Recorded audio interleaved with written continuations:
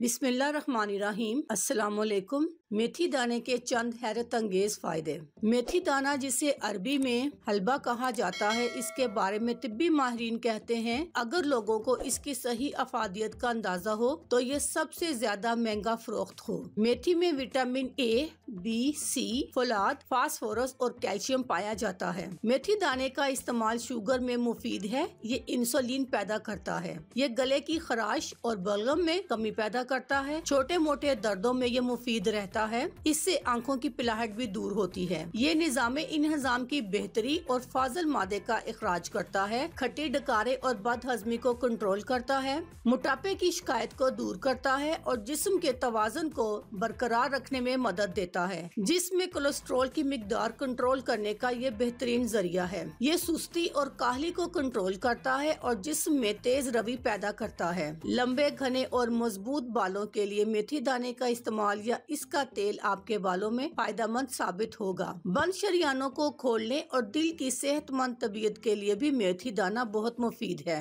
अल्लाह हाफिज।